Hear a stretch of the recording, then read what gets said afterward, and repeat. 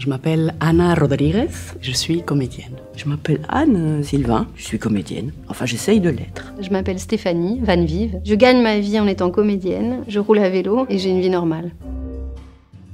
Oui. c'est vrai que pour un premier rendez-vous, c'est pas très sexy. Pour le moment, oui, parce que j'ai le nez bouché. Mais c'est pas le Covid. d'être un peu gênée de ne pas connaître euh, le personnage que j'allais interpréter, qui s'appelle Léonore Fini, et qui est en fait une éminente peintre euh, dite surréaliste. C'est ça qui m'a plu, c'était de découvrir euh, tout un pan de l'histoire de l'art, justement, que j'ignorais. Cette histoire de rencontre entre ces deux peintres et la liberté de ces femmes surréalistes. Ce qui m'a plu, c'est que je n'ai rien compris. Et puis à force de relire, ce qui m'a plu, c'est que c'est une recherche sur le temps. Et comme je me pose beaucoup la question si le temps existe ou non, le spectacle répond à cette question. Ma réalité est-elle plus réelle que mes rêves? Je n'en suis pas si sûre. Chère Léonora, j'étais terriblement triste et touchée après avoir lu ta dernière lettre. Tu te souviens la soirée, ce prétentieux qui nous a dit Oh les filles, vous n'avez pas trop chaud sous vos manteaux? Et alors on fait comme ça. Et, et on dit Ah sa tête quand il a vu que nous étions nus. Je m'en souviendrai toujours bah, de vivre. J'ai l'impression de vivre plus intensément et plus librement sur scène que dans ma propre vie où je connais les enjeux. C'est cet esprit euh, de famille, d'aventure théâtrale où pendant quelques mois, on va travailler à une œuvre commune et le soir, on est tous sur le plateau. Les autres qui ont déjà travaillé peut-être dans l'ombre ou qui sont derrière, dans les en coulisses et qui nous aident aussi et, qui, sont, qui font partie du spectacle. Et donc, on est tous ensemble vers, euh, pour présenter une œuvre commune. Le théâtre, c'est un des amours de ma vie. Donc, euh, c'est ça qui me plaît. C'est la rencontre avec l'autre. C'était le 16 juin 2020 et le 16 juin 1940 donc 80 ans avant, Leonora Carrington fuyait sa maison de Saint-Martin d'Ardèche. Et donc euh, on a commencé à répéter le jour où elle a dû fuir la maison de Saint-Martin d'Ardèche parce que la guerre était imminente. Leonora Carrington est très justement connectée à des choses, des synchronicités de la vie. Et donc j'ai trouvé que c'était une belle synchronicité de la vie. Est-ce qu'on peut être vulgaire? Ceci n'est pas une pipe. Comme j'aime bien la, nature des mots, surréalisme, c'est encore plus réel ou au-delà du réalisme. Donc il y a au-dessus, mais ça peut en rajouter. Donc pour moi, c'est la réalité, mais en plus. La création, la toute-puissance du rêve, euh, euh, laisser de côté la raison pour essayer d'être libre et exprimer euh, ce qui vient sous forme de, de premier jet. Et eh ben voilà, c'est ça qui m'inspire, la, spontanéité, et on y va. Merci pour ce coup de foudre et cette belle histoire d'amour. Moi, je suis féministe, hein, donc euh, Max Ernst. Euh, Pourquoi est-ce qu'on parle pas plus des femmes en général? La question de la femme peindre n'échappe pas à la, règle. On parle pas suffisamment des, des femmes, sauf là où on les attend, c'est-à-dire au mauvais endroit. Parce qu'elles ont trop de talent et les hommes sont jaloux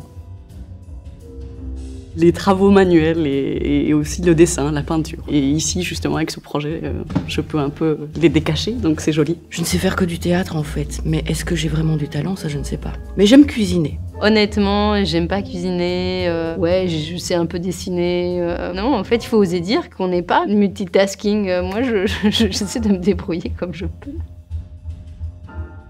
La vie sans talent Quelque chose euh, en bilingue en tout cas, donc quelque chose peut-être comme euh, mi biographie ou ma biographia, non sais, algo así, por ejemplo. Je vais répondre comme l'a fait Dorothy Parker sur son épitaphe euh, Excusez-moi pour la poussière. Il y a trois belles nanas, ben, il y a trois belles nanas, voilà. Sachez qu'on sera un nouveau printemps et que après cette année très complexe que nous avons vécue, je vous invite à vivre un renouveau avec des images que vous ignorez totalement. J'espère que ce sera une célébration printanière euh, en toute sa splendeur et que voilà, vous serez tous là.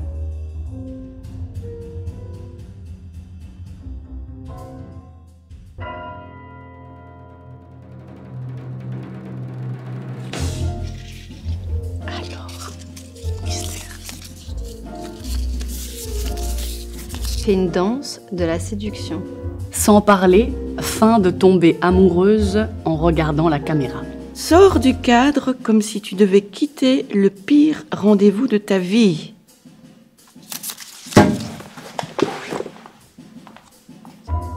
Placez-vous dans un autre univers que celui-ci parce que disons qu'il est assez euh, ethnique, ok?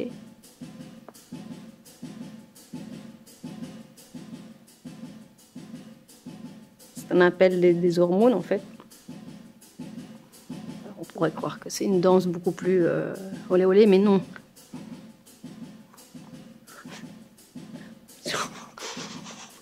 Et là, on sent vraiment si, l'autre a envie, parce que on voudrait que je mette en avant mes attributs, mais pas du tout, pas du tout. Si la personne accroche, c'est que vraiment c'était la bonne.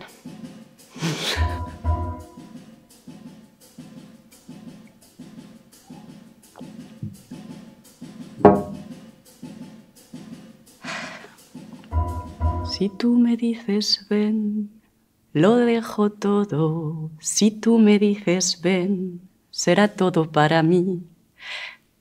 Tus momentos más profundos también te los daré. Tus secretos que son pocos serán tuyos también.